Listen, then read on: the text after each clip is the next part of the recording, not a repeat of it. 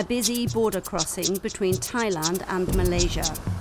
Over one and a half thousand vehicles make this crossing every day.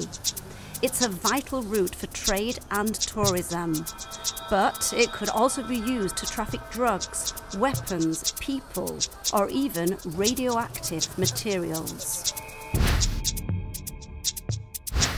Under the guidance of the IAEA, customs officials, police officers, and radiation detection experts from both countries came together to test their operating procedures.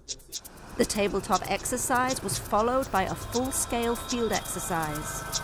A truck coming from Malaysia was intercepted at the border and escorted to a customs control area in Thailand.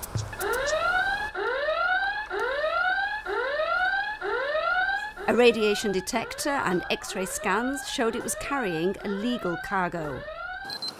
Two kinds of radioactive materials were located.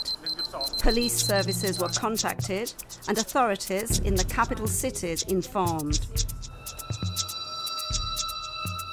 Depleted uranium and radium 226 were identified. At the end of the exercise, the two sides provided feedback and recommendations. The vast majority of people who cross this border have no malicious intent. But if criminals do try to cross with nuclear materials, Malaysia and Thailand are prepared and ready to act.